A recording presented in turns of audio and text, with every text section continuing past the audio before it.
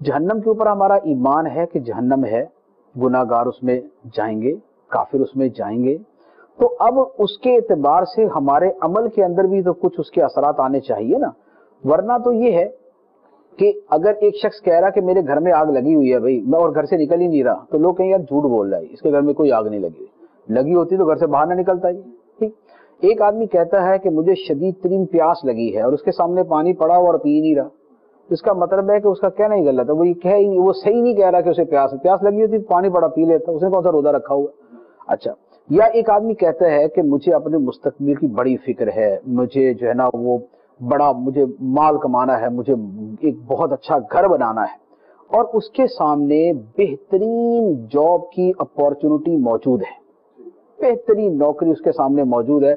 महाना दस लाख रुपए उसकी तनख्वाह लगी, वो कहता मैंने करना ही नहीं। लेकिन मुझे घर बनाने का बड़ा शौक है, मुझे बेहतरीन घर बनाना है, मेरा बेहतरीन गाड़ी होगी, बंगला होगा, मौजे मौजे। लेकिन ना वो कारोबार करता है, ना वो नौकरी करता है। लोग बोलेंगे, यार, ये झूठ बोल रहा है।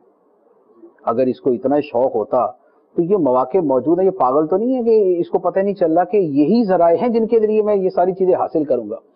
तो जब एक आदमी एक शय के बारे में इश्तियाक ज़ाहिर करे, लेकिन उसके मुतालिक कुछ भी ना करे तो लोग उसके बारे में डाउटफुल हो जाएँगे कि भाई जो ये कह रहा है, ये सच भी है या नहीं?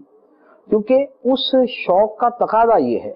अच्छे फ्यूचर के शौक का तकादा ये है, अच्छे घर के शौक का तकादा ये है, अच्छी गाड़ी के शौक का तकादा ये है कि उसके लिए कुछ करे भी।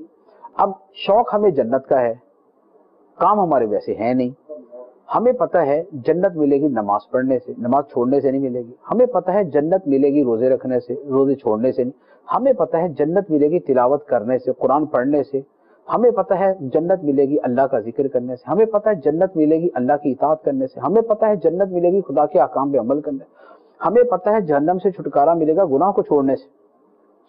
लेकिन ना नमाज़ पढ़े, ना रोजा रखे, ना तिलावत करे, ना जिक्रुल्लाह करे, ना इतात के काम करे, ना फ़राइज अदा करे ना वाजिबात अदा करें, ना गुनाहों से बचे, ना बदनिगाही से बचे, ना जो है वो खयानत से बचे, ना चोरी से बचे, ना करप्शन से बचे और फिर भी बोले कि मुझे तो जन्नत से बड़ा डर लगता है। मुझे तो जन्नत का बड़ा शौक है। तो ये इसका कहना जो है, ये इसका ईमान जैसा होना चाहिए वैसा हरगिज नहीं है। नफ्स ईमान होता है, उसमें जो है वह किसी के भी कलाम नहीं किया जा सकता जब तक कोई खुद इनकार ना करे, लेकिन जो उसका ज़ाहिर है, वो बिल्कुल उसके ऑपोजिट है।